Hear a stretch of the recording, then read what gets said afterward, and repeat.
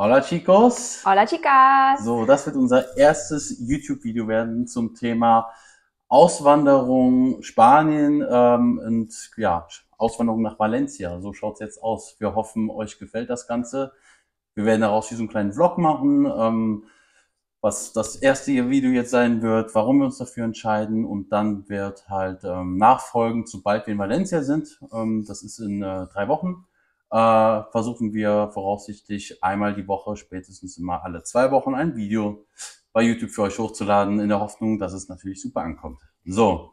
Genau, damit ihr sehen könnt, ähm, warum machen wir das Ganze, ähm, warum sind wir so verrückt und äh, geben hier alles in Deutschland auf. Ja. Und was sind unsere Pläne, was stellen wir uns vor und wir fanden das Ganze oder finden das ganz witzig, das mal festzuhalten, damit wir später auch mal schauen können, wie wir so gestartet sind. Genau. Ähm, und genau, in erster Linie, weil alle Freunde, Family immer gefragt haben, und wie sieht's aus? Wie seid ihr in den Vorbereitungen? Äh, seid ihr schon fertig? Und ähm, da haben wir gedacht, boah, jetzt müssen wir das irgendwie jedes Mal erzählen. Wie wollen wir das denn machen, wenn wir dann da sind? Ähm, ja. Da machen wir einfach ein Video und dann können alle genau. gucken, könnt ihr uns einfach abonnieren und dann könnt ihr einfach schauen, wann, wann es wieder was Neues gibt. Genau. So sieht's aus. Ja, warum machen wir denn das Ganze überhaupt? Schatz, erzähl mal. Ähm, warum tun wir uns den ganzen, den ganzen Stress am Anfang erstmal an? Ähm, ja, also erster Punkt äh, ist auf jeden Fall das Wetter.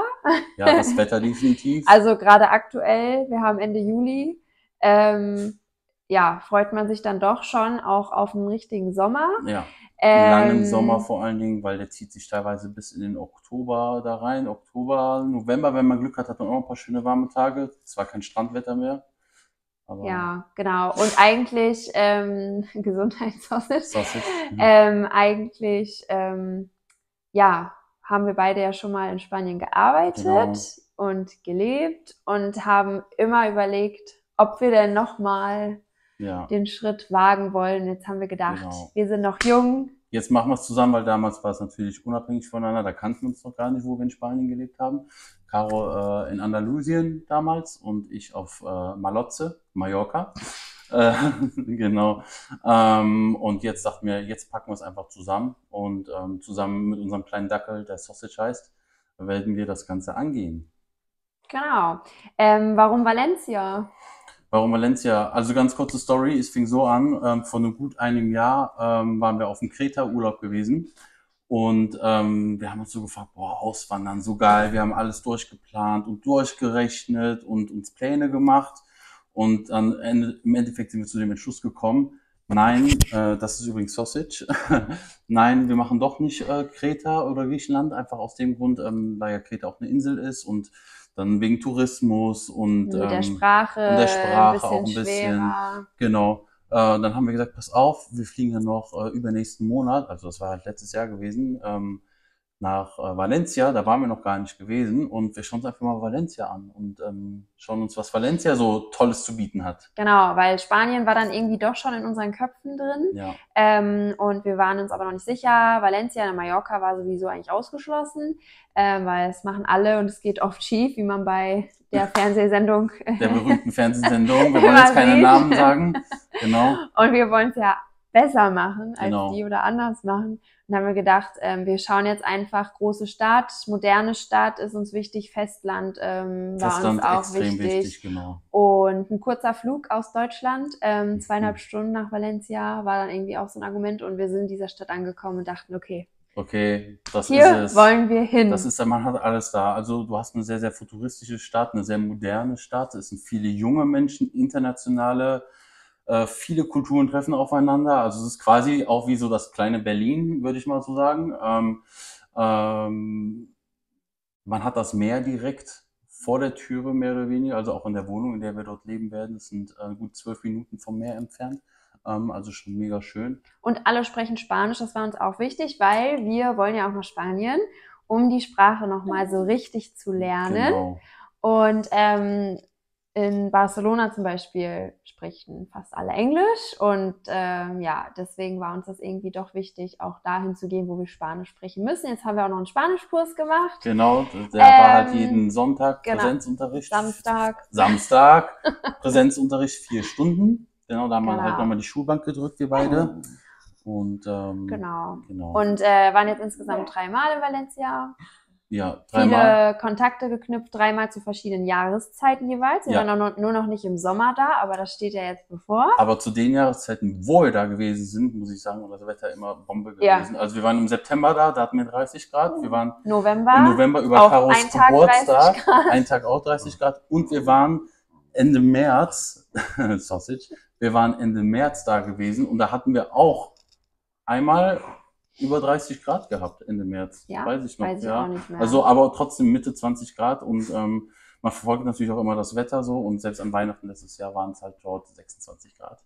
ja. Und ähm, es prasselt einfach so viel ein. Also es in unserem Umfeld so viele, unsere Spanischlehrerin äh, kommt aus Valencia, dann ähm, bei uns aus dem Studio sind es das ein oder andere Mitglied, was eine Eigentumswohnung Ja. hat, was da ist. Oder Freunde dort hat, die uns vor Ort schon helfen können. Also das ist Also halt, ähm, nachdem wir ähm, das endlich auch irgendwie öffentlich kommunizieren durften, Ja. ähm, dass wir gehen, weil es war natürlich mit der Arbeit am Anfang noch so ein Oh, bisschen äh, secret.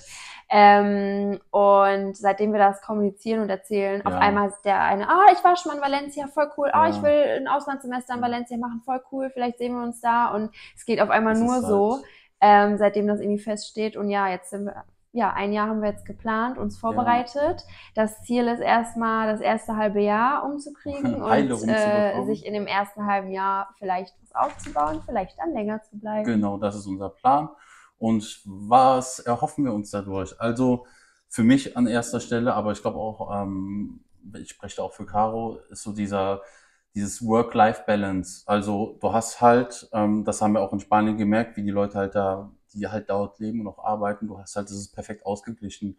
Während in Deutschland dieses, so kommt es mir auch vor und für Caro auch, dieses Work-Life-Balance ist nicht im Einklang, Yin und Yang, sondern ähm, es ist quasi nicht ausgeglichen und da hast du es einfach. Die Spanier sind sehr, sehr entspannt, ähm, was nicht heißen soll, dass wir da auf der vollen Haut sitzen werden. Nein, wir möchten auch arbeiten, aber das ist dieses entspanntere Leben einfach. Ne? Also Ja, Mentalität. die Mentalität, Ähm, die, die Menschen, also und die kleinen Dinge werden noch ein bisschen mehr wertgeschätzt. Wertgeschätzt. Wenn schönes Wetter ist, sind alle glücklich. Das und mehr brauchen sie Beispiel. eigentlich nicht zum Leben. Und ähm, wir können das auch so sagen, Ja. weil wir waren nicht nur Urlauber in Spanien, sondern ich war damals zehn Monate in Spanien. Dominik war dreieinhalb, vier Monate. dreieinhalb, vier Monate in Spanien. Ja. Wir haben da gearbeitet und nicht Urlaub gemacht. Genau, und deswegen wissen Zeit wir schon, wie das viel ist. gearbeitet. Und eins kann ich auf jeden Fall dazu sagen, ähm, was man hier sehr, sehr stark merkt, dass man, kann sein, dass man das dort auch hat, aber wir haben es noch nicht gemerkt oder noch nicht so stark gemerkt. Deutschland ist doch schon, ich will jetzt auch nicht Deutschland komplett schlecht reden, ne, weil die Infrastruktur ist super, aber in Deutschland hat man schon so eine Neid- und Hassgesellschaft und ähm, man gönnt irgendwie keinem etwas, obwohl man alles haben kann, gefühlt. Und ähm, das hast du halt in Spanien oder allgemein. Wir reden jetzt nicht nur von Spanien, wir reden von den südlichen Ländern, sei es Italien, sei es Griechenland, sei es Spanien. Ähm, das hast du da einfach nicht. Also so viele, die wir kennen, ähm, die jetzt auch mal ausgewandert sind oder dort gelebt haben, die bestätigen das einfach nur. Oder selbst die Spanier, die sagen das, die Ja, halt die jetzt vor hier leben. Oder die genau, Ort. die vor Ort oder die jetzt hier leben und sagen, boah, nee, ich werde auf jeden Fall wieder zurück nach Valencia gehen oder nach Spanien, weil das Leben dort viel entspannter ist. Die Leute hier sind halt nicht entspannt genug. Und ich glaube, das macht schon sehr viel aus mit einem, dass man einfach seinen Seelenfrieden hat, seine Ruhe. Ähm, ja. Genau, allen, allen Leuten, denen wir vor Ort erzählt haben, ja, wir überlegen hierher zu ziehen oder wir ziehen bald hierher. Jeder, egal ob Spanier oder Mhm. Zugezogener in Valencia, hat gesagt, oh ja, komm hierher, beste Ja. Stadt, Ja. beste Stadt in Spanien Ja. und wir lieben unsere Stadt und ihr müsst dann das machen und in dem Monat ist das und ihr müsst und kommt her, wir gehen zusammen essen und ähm, genau. Das, das Lustige ist, so, dass es sogar, ähm, als wir sogar in Valencia waren und mit dem Taxi dann halt vom Flughafen meistens zu unserem Hotel gefahren sind, beziehungsweise zu unserer Unterkunft, ähm, dass sogar die Taxifahrer, also es ist sehr, sehr ähm, marokkanisch da auch angehaucht, viel oder libanesisch, die halt da arbeiten, also viele Ausländer halt auch. Und selbst die gesagt haben, kommt nach Valencia, die sind so ausländerfreundlich, die Spanier, ähm, dass sogar die gesagt haben, macht das, so während äh, andere vielleicht hier in Deutschland nicht sagen würden, kommt nach Deutschland, ihr macht alles richtig, sondern ja, äh, Ja. ist vielleicht cool hier, aber überlegt euch nochmal. Also es ist Ähm, wie in Berlin dort Multikulti, du ja. hast da alle Kulturen irgendwie vertreten. Ja. Ähm, klar, hauptsächlich Spanier, weil es nicht so touristisch ist, ähm, wie zum Beispiel in Barcelona oder Madrid. Ähm, aber sehr, sehr viele, auch Deutsche, Franzosen aus aller Welt, keine Ahnung, wen wir da alles schon Alles getroffen schon haben. da. Und genau. alle sagen, es ist so toll hier, kommt hierher. Und er hier freut sich auch ganz dolle, Ja. weil da Sausage. gibt's einen Hundestrand, Ja. ne? Und man kann mit dem Hund überall in die Läden gehen. Das ist da ganz normal, dass man da durch den H&M läuft mit Hund an der Leine. Hier in Deutschland kriegst du ja schon einen bösen Blick, wenn du mit dem Hund nur irgendwie in die Nähe von einem Spielplatz kommst. Oh ja. Ähm, und da sind so viele Hunde. Wir haben noch nie äh, in einer Stadt so viele Dackel auch Das gesehen. ist Wahnsinn. Also. Das war uns nicht bewusst. Ja, Mhm. langweilig, Ah. wir erzählen immer das Gleiche, ne? ja, Ähm, ja, auf jeden Fall, er freut sich auch schon ganz dolle. genau. Und ähm, wir hoffen uns da auch ähm, ja für den Hund mehr Lebensqualität definitiv, Genau. weil ähm, auch hier bei uns äh, in Köpenick in der Gegend, es gibt so viele Spielplätze, aber für die Hunde kaum Möglichkeiten, irgendwie mal ohne Leine äh, zu rennen. Und es gibt so viele Hunde auch hier. Ähm, und in Valencia gibt's ähm, ganz tolle Parks und ähm, ganz viele so abgetrennte Bereiche, wo die Hunde auch ohne Leine rennen können. ja. Am Strand dürfen die da ohne Leine rumrennen und so weiter. Hey, Leute, ne? ich habe genug davon jetzt. Er will schon los. Er will schon los. Also es wird halt mega schön werden. Ähm, genau, das Ganze wird halt in ähm, heute in drei Wochen sind wir, haben wir quasi die erste Nacht dort, äh, ja, haben wir das erstmal übernachtet in Valencia. Und ähm, wie starten wir? Also wir haben uns eine Dachbox geholt fürs Auto, was uns ganz, ganz wichtig war. Ähm, genau, wir fahren mit dem Auto, weil viele schon gefragt haben, "Hä, wann geht euer Flug? Nein, wir fahren mit dem Auto. Wir brauchen brauchen auch- das Auto. brauchen dann ein Auto. Wir nehmen äh, unsere sieben Sachen mit, also quasi nur Klamotten ist das Wichtigste. Ähm, für mich noch meine äh, Supplemente natürlich. Aber ansonsten, Also also, eigentlich nur von dir sagen. eigentlich nur von mir Sachen. Für Winterkleidung etc. werden wir komplett jetzt aussortieren noch. Das steht noch bevor. Das lassen wir alles hier, weil A fängt, wenn überhaupt der Winter erst Mitte Januar da an für einen Monat, anderthalb und das auch nur mit 13, Grad- nur mit 13 Grad tagsüber und Sonne. Ähm, und das kann man sich dann vor Ort nochmal holen, eine Übergangsjacke oder so. Das brauchen wir jetzt nicht mitzunehmen. Das nimmt unnötig Platz weg. Übergangssachen gibt sowieso in Spanien, glaube ich nicht. Ja. Das gibt's nur in Deutschland, Ja, dieses Wort auch. Ja, glaube ich auch. Ja, und man hat Ja. über 300 Sonnentage im Jahr. Das nur mal kurz noch äh, dazu gesagt. Auf jeden Fall geht's bald los mit dem Packen. Wir haben Genau. jetzt äh, noch ein, zwei Wochen ähm, auf der Arbeit. Ja, Und dann verabschieden wir uns und dann wird hier die Wohnung komplett ausgeräumt, ähm, beziehungsweise die Klamotten ausgeräumt. Äh, wir vermieten unsere Wohnung erstmal unter für das Genau. erste halbe Jahr und dann würde ich sagen, im nächsten Video Im nächsten seht ihr dann alle Vorbereitungen und die Tour genau. nach Spanien. Die Tour nach Spanien, die Vorbereitungen. Wir werden natürlich äh, aufnehmen, wenn wir hier losfahren. Ähm, mit den ganzen Zwischenstopps. Also wir werden nur zur Info einen Zwischenstopp in Lyon machen, in äh, Frankreich.